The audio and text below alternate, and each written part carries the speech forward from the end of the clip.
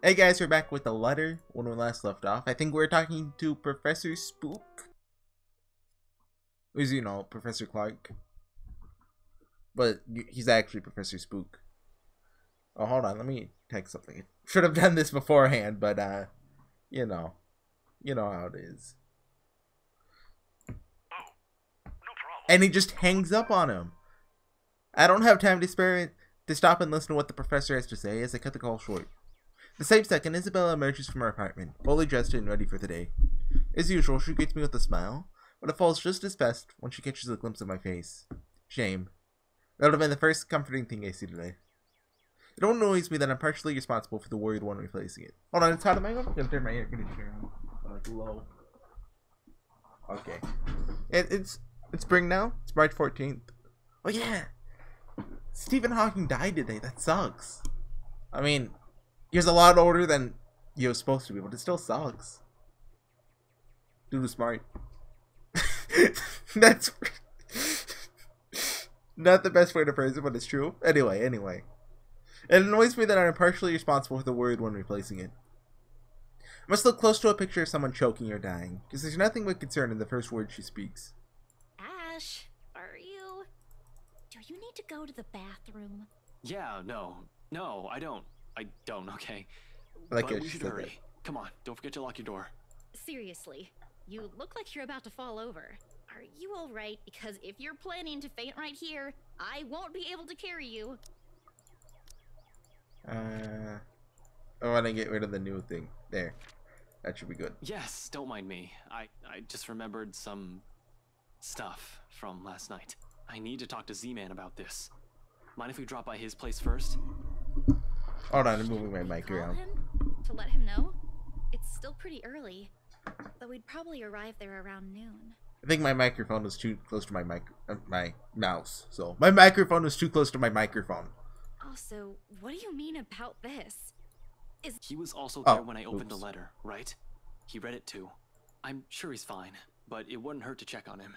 To make sure. See if... if he'll say the same things you told me yesterday. If it also been seeing things, if it is also the same woman I saw last night, I'm not saying there's really a curse yet, but we... we have to look at this from every possible angle. that's saying there's really a curse. It's just you know I've seen the ghost, you've seen the ghost, everyone's seen the ghost. And don't worry, he won't mind.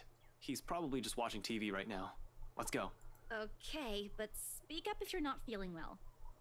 You really look like you're choking on something. This is the day that Zachary broke into well would have broken in, like you know You didn't have to do this for me in the first place. to the Ermengarde mansion. You know it's not as simple as that.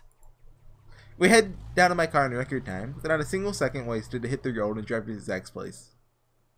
If anyone of us, other than Isabella, who knows anything about what's going on, if any one of us who knows anything about what? That doesn't make. That's not a sentence. They forgot a word. I need to start a notepad file. Just document all the grammar errors. Send it to the team. They'll send me like a five dollar check. Be like, thanks for proofreading. Or CEU, you're the best. And we're like, no, no problem. That's what I'm here for. Uh, it, it'd actually be productive if I did do that for every visual novel I read. Since I run into typos in practically all of them. Not all of them, but practically all of them. Who can help sort the the muddled mess my mind is? It's got to be him. He listened to her. Zach's the kind who prefers to laze around his apartment on a weekend. Yeah, it's the 29th, so. Especially after having a busy week like the last one. The big guy's nowhere in sight, though, when I arrive in his unit. Figures. People don't seem to be where they should be when I need them. It's almost like they have jobs, Ashton. Looking around, I've had no sign where he might have gone to. Usually leaves a note on his fridge if he's out for the day, just in case someone drops by. If there isn't one, probably just went out for a quick walk. I hope. Maybe he ran out of eggs or something, went out to buy some, or maybe he has a job. Like, I assume he does photography full time, so I mean, like, you know, he has to go take pictures of, I don't know. He is out of eggs after all. Puts my running mind to rest for a while. They had this graphic, and they were like, oh, we, ha- we have to include this somehow. he always has to have some. be it for an omelet or something he's baking.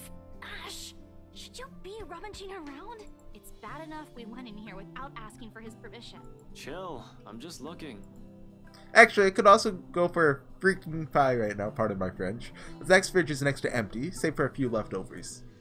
All I can do is sigh as they close it behind me. If you see me take anything, feel free to call the police. Get it? He is the police. Isabel is quick to shoot me a sharp glare, and another chuckle slips from me, despite the unease in my stomach. I bet he does that all the time. Like, just call the police if I do something. Call my boss on me, I dare you. The cheer only lasts a mere few seconds, mostly because she hasn't been in the mood for any sort of friendly banter. It's the silence that's telling. Not quiet, Isabella? It's usually the first recipe for an incoming stuff storm. Do you always do this whenever you visit another person's house? Because I have a lot of questions about your methods. Just with Zach. Still worried about our, for our friend of course, and despite what's bothering Isabella, she's anxious too. She's been standing by the doorway for a few good minutes now, since we entered Zach's place in fact. Doesn't seem to know what to do with herself. Is that correct semicolon usage? I don't I don't think it is. Yeah. So semicolon. The correct way to use a semicolon. You say a sentence that says um let's say X is Y, semicolon. The other sentence should be saying the same thing in a different way. So X is Y, semicolon X R Y. Well, that, that's like R the word. That, that's just a word different from is. So since we entered Zach's place, in fact, if that had been attached to that sentence, those have been one sentence. Like a few good minutes now since we entered. Like she'd been standing in the doorway since we entered Zach's place. Semicolon. She doesn't seem to know what to do with herself. That would be a good semicolon usage. But that is not as far as i know grammar expert over here. But as much as i want to put her at ease her nervous tics are starting to get to me. The manner in which in, in which she makes herself smaller the way she fidgets with her hands clasping them one moment and then unfurling in the next it's distracting enough that i want to ask what's wrong I doubt she'll give me a straight answer, though. The best I can do is help her temper it. You don't have to hang around the door. You might be here for a while. You can sit down. She hesitates for a second, but eventually takes the empty seat by Zach's study table. Sure, we can, but where are we going to start? I can think of a few places he might be, but Luxburn's a big city. I don't want to miss the big guy if we leave, and I trail off, making a vague gesture in the general direction of Zach's bed. The messy bed suggests she was out in a hurry. He didn't even he didn't even bother to fold the sheets. His cell phone's been left behind as well. The other odd thing was, is made it a habit to never leave it behind in case his client calls. at least the locked door points to the fact that it wasn't a forced exit. It seems to reassure her, but not so much. Understandable. Anything might happen. In hindsight, we shouldn't have left Rebecca alone too. In hindsight, shouldn't have left Rebecca alone. We'll have to check on her later. Okay. Lots of errors this episode. Really should have made that notepad file. Hold on. I'm gonna get notepad. no. If there's like a line number or something to track that, maybe I would, but eh. In the meantime, Zach. But with no other clues where he is and no other way to contact him, we have no choice but to wait. Sure, I could have given him another thorough run through, but I don't think Zach would appreciate me upending his place. Isabella won't let me do that either. Besides, I haven't eaten anything today. Isabella, Isabella probably hasn't too. We did leave in a hurry. Might as well take this chance to cool down a bit, right? Anything to distract myself so that I don't I don't charge headfirst because of whatever paranoid scheme that comes to mind. Isabella with me. Can't be reckless. Shouldn't be Isabella's with me, like is or just no.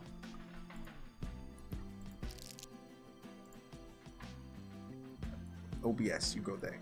Returning to the kitchen, the first thing I see is a bag of chips when I rifle through his cupboards. Didn't you eat all of his chips last time? No, no, no, right, right, I remember. After making a permission and an apology its owner won't hear, I grab it. Wait, was this the same time, or was it a different time? Isabella doesn't miss shooting me another glare. No, wait, no, no, no. Zachary's thing is on the 30th, I think. Uh, I can't click. Yeah, it, I can't. I can't click. Okay. So instead, I set myself on Zach's old couch and turned on the television. as Isabella's silence may not be too heavy, but sure as heck is awkward. The screen lights up, right as some awful noontime drama starts airing on Channel 9. Nothing like sitting in front of the TV with a mindless drone running in the background to waste away the time. Waste it away we do. The afternoon is hit its last few hours when movement comes from the other side of the door, and Zach's heavy treads breaks the monotonous drivel from the TV. The lock clicks, the knob turns, and slowly it swings open to reveal a very exhausted looking Zach. What, did he run a marathon? Sup, Z-Man? Hey, Zach. Sorry we just barged in here. Ash was. I think this scene played last time in Zach's route. Relax. Z-Man gave me a copy of the key himself. Loud as my tone might be, his arrival eases the restless edge in me. Who knows what I would have done if something bad had happened to one of my friends. If another minute had gone by without him showing up, might have resorted to unconventional methods. Only after you broke the 13th one? I can't keep replacing them every time you think it'd be a good idea to break into my apartment. And stop calling me Z-Man! I didn't break anything this time. Ash, just because I gave you a key doesn't mean you can just stroll in here whenever you want to. You know, that's not really a normal way to talk. Like, they. So obviously, he's talking about how he broke his locks. He would have only after he broke the 13th one. It, there's no mention of lock. and hey, is that my... Scary how the friendly banter and easy smile come naturally. I do it, even without thinking. That speaks volumes about how uncomfortable I am around him. That's nice, isn't it? What makes me afraid of it, however, is the idea that a time might come where I might just do these without even meaning to, offend him in some way. The friendship we might we might have be closer then. The friendship we might have might be closer than most I've shared with others, but there are boundaries you can't cross without the other's permission. Zach's been respectful of that so far. Neither asking about my parents or what happened to them. I, I can kind of relate to that, like, uh, like, you know, you might say a funny joke and then they're like, oh, funny joke? You know, that's not funny, that's not cool. Then you're like, oh, I'm sorry. Because uh, I joke around a lot and, you know, sometimes I'm like, oh yeah, they're, they're probably going to be fine, but they're not fine with that. So I, I gotta get that. Me? But I'd say not so much. It's also this easy banter that makes me wish we could stay like this. No worries, no problems. Just potato chips and the debate on whether or not I deserve them. But as usual, something always cuts moments like this short. Of course he eats all of it. You know, I was saving that for the weekend. Did you at least share some with Bella? Don't worry about it. I'm good, Zach. Really? It's free food, you know? What was that you usually say? You don't say no to free food? what, what happened? No, I'm just not hungry. Although your tone forces him to do a double take, Zach doesn't push it. Question is all too clear in his eyes when he glances my way, though. Oh yeah, we haven't looked at the branching tree yet. What are we at? Uh, Oh, we have a choice coming up. Well, maybe. Looks like a choice. Do wish I could answer him. Wait, haven't we already done this though? Like in Zach's route? Hold on. Let me get the the guide up. Community guides. How far in are we? Like, I was gonna say 12 minutes. 13. Uh, what's through the thick and thin achievement? Uh, you have to get the friendship meters high for the four friends. Looks like relationship point guide. Uh, yeah, yeah, that that works. Uh, Zachary alive? Maybe.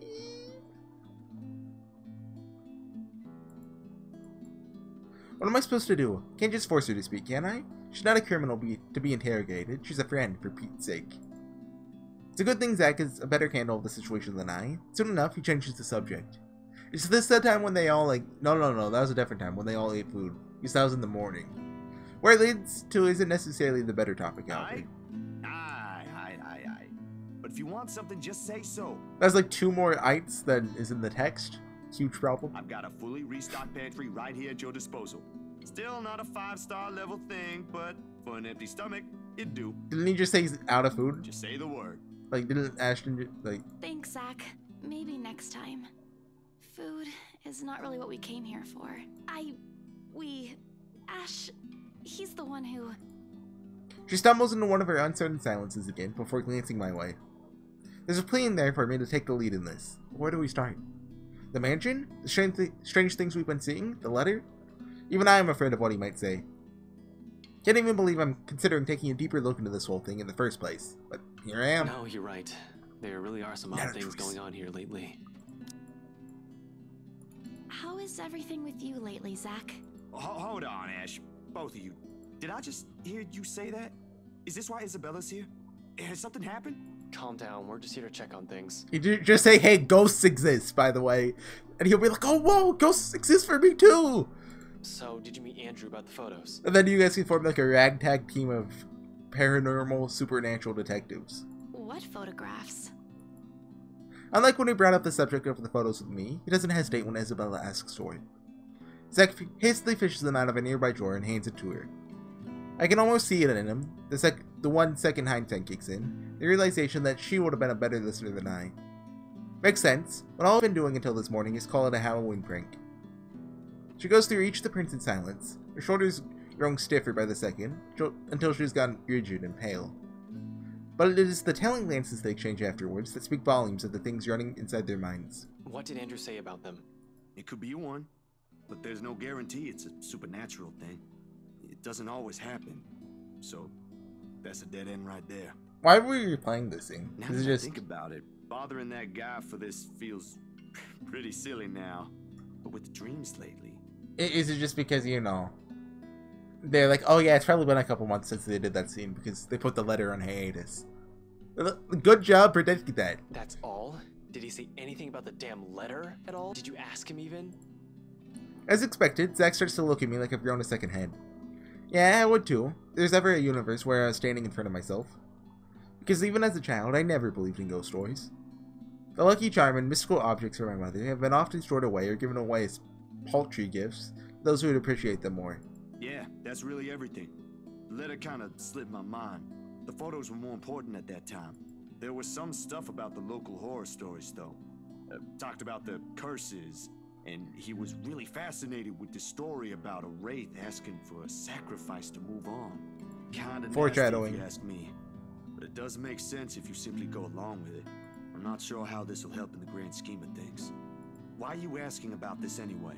Rose's death isn't just a coincidence, Zach. It may have something to do with. I may have. Wait, wait, wait. s- Stop right there for a sec. Bella, I thought you ain't buying this stuff, Ash. Just the other day, you said the exact same thing. Granted, I haven't eliminated every pos- single possibility here yet, but el- what else is there to go on from here? The worried look Zach shoots my way doesn't help one bit in helping me gather my thoughts either, when that's what I came here for. Somehow, everyone's everyone's suddenly just so worried about me. Not like I'm pulling this out of my butt. you said butt?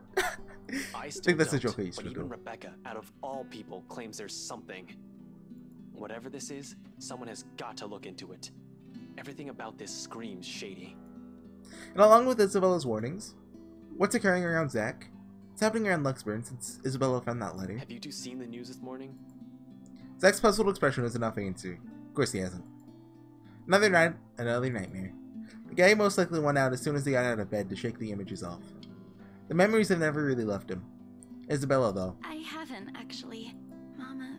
Mama called, and. I was busy. That could easily mean anything. Was was that one you heard that your father's? No, that was a lot earlier. Did her Kuya, her older brother, end up in jail again? She's had to bail him out numerous times in the past. All that did was, uh, I'm sad. This is uh, before, right, like the uh, says you know I just well, does that count as a curse word? Since that censor all bad words, I changed that one to "make me mad now," in reference to uh, a video where this guy pants wrestles. But the guy who was in that, his name's uh, Billy Herrington. He actually uh, got in a car accident, passed away a couple weeks ago. But, and today sucks. That's about every ounce of cheer in her. Or is it that the, or is it that the older the other brother, the younger one who keeps insisting that he'll quit school so she could come home? That's two years ago, as far as I know. She already sorted that one out. Couldn't have been her father, right? With the mansion sale, she's earned enough to cover every bill for a while. It should. So, what is it then? No problem. It should be in the afternoon news as well. Whatever's bugging her, it was something meant for casual discussion, else she would have mentioned it sooner. Taking my curiosity for later, take the remote and begin cycling through the channels. A distraction. Not a good one, I admit, but it's definitely better than leaving her to brood. Eventually, I found... I found one doing a recap of this morning's few points. And there it is. Poor guy is unidentifiable. I, I remember this guy. Look how evil he looks. Unidentifiable with how badly his body's been burnt. Murder via, via arson? That's, that would be the logical explanation if I was the officer looking into it. Except, they couldn't find the source of the fire. The fire didn't even spread. Found dead in the early hours of the morning today. The fire was contained within the room and no other tenants were harmed, according to Luxborn police. They're going to consider spontaneous human combustion soon enough, if they don't find anything else. But what's important for everyone to note is the state of the room. A similar writing was found in another victim's room from last week's incident. Both were employees of Briar Realty Corporation. LBN has reached out to the. Like what happened to Cooper. Heck, pardon my French. Wonder how many other deaths like this I've missed while I've been looking into right. The LPD's already thinking he's a serial killer at this point. How long until they consult with the London Metropolitan? Oh, was it? Not sure. The Anselm Butcher has always been an enigma, even to the people within the city. Gone for a few years, then in the next, one body after another is found. Really handling the case hasn't apparently driven the chief inspector insane years ago. Has apparently. You never did find out who committed those murders. Maybe now this time. This is because of that thing, isn't it? I did this somehow. I mean, if you didn't find the letter, someone else would have. Her words all come out like a whisper, but each syllable lingers in the air, heavy with her guilt. Uh, although, I mean, if like Hannah found it, like Hannah doesn't really have friends, so I mean, it's not like she would show it to anyone. The thick tension of the room, they strike harsher than any of the things we've said. However, she also has to understand, no, that she isn't the only one on this. No one has asked her to take up take this upon herself. Rebecca won't. Zach won't. I sure as heck won't, pardon my French. We, we could still fix this. There's three of us here. Oh, we're about it, get to this scene. What's this? Hmm. Probably Isabella alive, Isabella not alive. Four if you count Rebecca. No, she's she's staying away from this. Yeah, we've done this before. I remember don't this. want to involve her in this any more than I already have. Both of you as well. I already said it. That's completely out of the question. Stop asking. Encouragements aside, this is still a whole freaking mess and we're in it blind. The only way to make it worse is if we all started running around like a bunch of headless chickens. But I have a concrete plan now, I think. Maybe Isabella's right. Maybe we should dig deeper into BRC itself. Maybe we are looking at it the wrong way. However, my suspicions are mine for the moment. The details are something Zach doesn't need to know until I have something to show. It's enough that he's aware that I have an idea in mind. For his part, Z-Man doesn't push it. Nothing but a heavy silence leads our departure hours later. Seriously, Zach would probably make a more responsible officer than me. But he only had the, the heart to join the force. We could certainly use more kind people like him. But as good as that is, I push all of it into the back of my mind as Is- Isabella and I head for the, my car. Tonight, I can't stay distracted. Mm, it's early. But I don't think we'll get a good calling point if I don't end it here. Because I only want to go on for like 10 more minutes. I don't want to push this in like 40, 50 minute territory. Huh. I guess uh, I'll end it there. Like, should I talk about something? Like, I was just kind of, I was just thinking about how Hannah and Marianne's job, they're kind of like filler. But I mean, I, I don't really need to talk about that. Well, what's the definition of filler? Like, usually it means, you know, content that wasn't in the source material. It's used to fill for space, usually. But I'm using it in the sense that they don't really add too much to the main story, you know? Like, Marianne's in particular. Like, Yana, I mean, it does, it changes Luke's route, but that's it. I don't know. I was also thinking that like the main characters that survived for the true ending are kind of weird. Like Isabella, Zachary, Rebecca, and Luke, I think. Which you know, that that further makes th- these two characters kind of like there. Like Candace's pretty cool, but Marianne's eh. You know what I mean. Anyway. 25 minutes? Okay, I pushed it out long enough. thanks for thanks for watching guys. I'll see you guys next time when I think this this is the scene where they break into the and well, like this is not really breaking in since Isabella works here. But yeah, there's the quick time event, so probably. They don't have to make the well, Ashton doesn't have to make the guy watching the door lose his job anymore. Woo. See you guys next time. Bye.